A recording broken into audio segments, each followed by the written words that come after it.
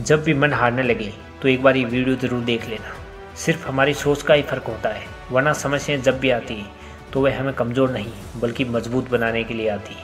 परिस्थितियाँ जितनी ज़्यादा आपको तोड़ती हैं, उससे कहीं ज़्यादा आपको मज़बूत बनाती हैं। प्रार्थना ऐसे करो जैसे सब कुछ भगवान पर निर्भर करता है, और प्रयास ऐसे करो, जिससे सब कुछ आप पर निर्भर करता है। ज़िंदगी की हर सुबह को शर्तें लेकर आती है, और ज़िंदगी की हर शाम कुछ तजुर्बे देकर जाती है। गलती जीवन का एक पन्ना है।